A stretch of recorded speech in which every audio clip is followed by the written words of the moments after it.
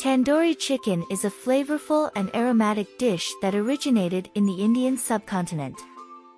It is a popular and widely enjoyed dish in many parts of the world, including South Asia, Europe, and North America.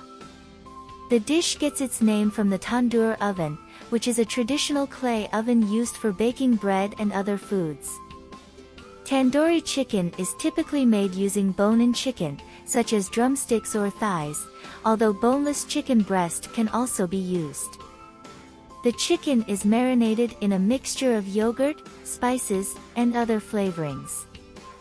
The yogurt helps to tenderize the chicken and also infuses it with flavor, while the spices give the dish its distinct aroma and taste.